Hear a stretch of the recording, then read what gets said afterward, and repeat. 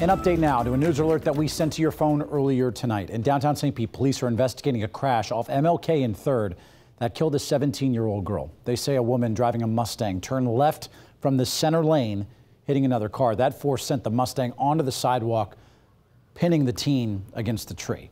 The case is still under investigation.